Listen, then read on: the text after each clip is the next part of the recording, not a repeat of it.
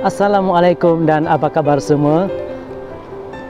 Saya Kif Albaris, Talent Manager dari IDEM Studio. Seperti biasa akan berkongsi tips, info dan cerita dalam dunia hiburan, modeling ataupun dalam cerita dalam kehidupan kita setiap hari.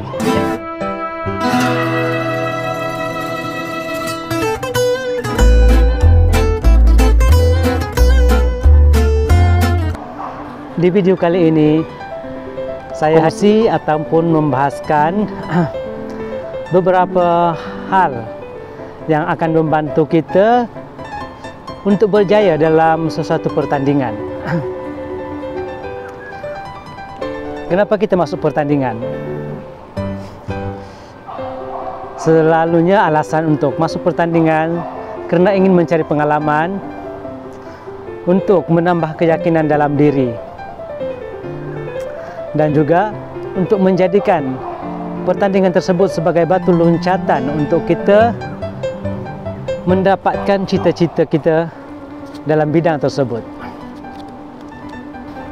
Tak kira apa saja pertandingan, beauty queen ke, pencarian model ke, bila kita mendaftarkan diri bermaksud kita telah bersedia untuk mengikuti segala peraturan yang telah ditetapkan oleh organizer tersebut organizer uh, pertandingan.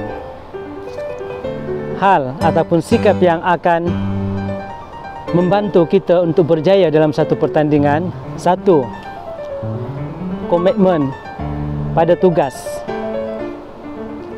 Setiap pertandingan mesti ada tugasan yang perlu dilakukan oleh setiap peserta kita sebagai peserta bila kita dibagi tugas oleh organizer kita haruslah menyiapkan tugas pada masa yang telah ditetapkan.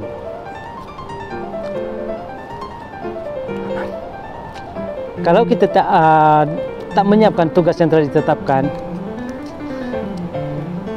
di situ kita telah memberikan satu gambaran kepada organizer tersebut yang kita ini tidak serius dalam pertandingan tersebut ataupun bukanlah orang yang uh, betul-betul ingin berada dalam pertandingan tersebut.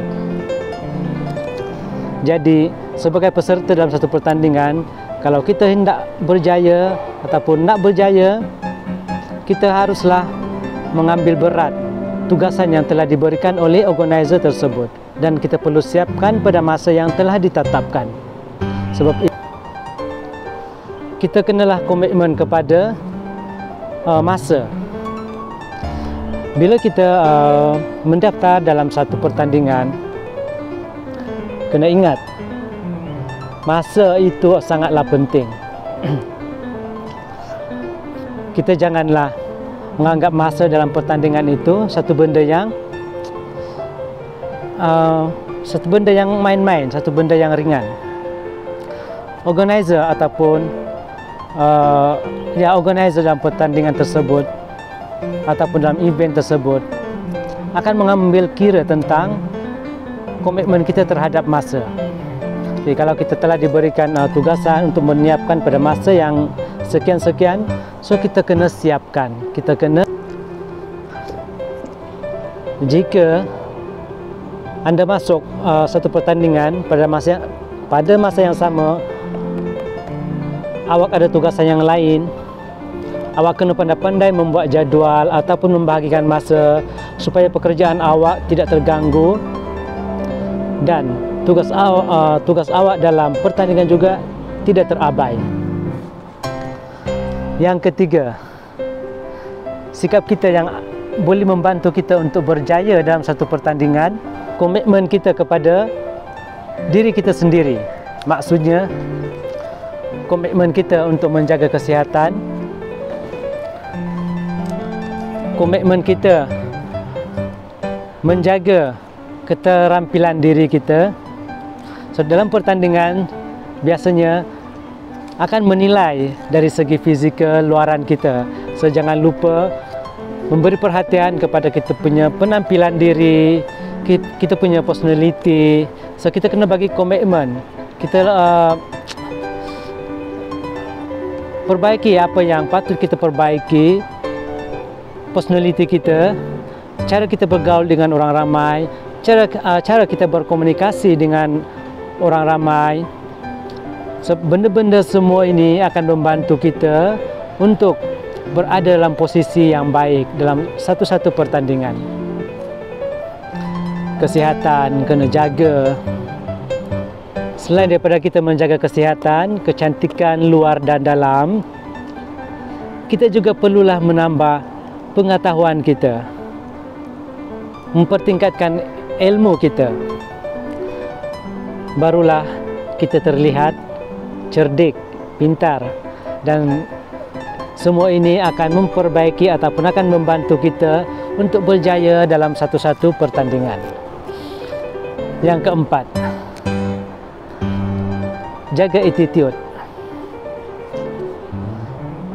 Apapun uh, apapun pertandingan ataupun apapun uh, kehidupan yang kita uh, jalani, attitude kita sangat penting.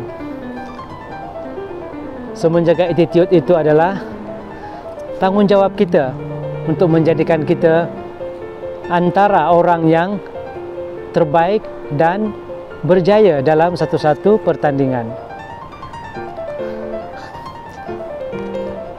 So, attitude itu seperti sikap kita terhadap orang lain, sikap kita terhadap organizer, sikap sikap kita terhadap peserta-peserta yang lain dan sikap kita juga kepada orang ramai.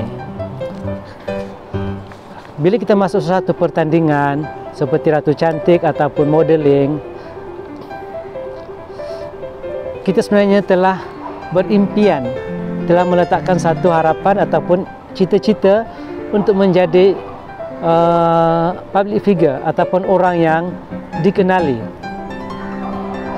Jadi bila kita ada impian atau cita-cita untuk menjadi orang yang dikenali, kita kenalah jaga attitude kita.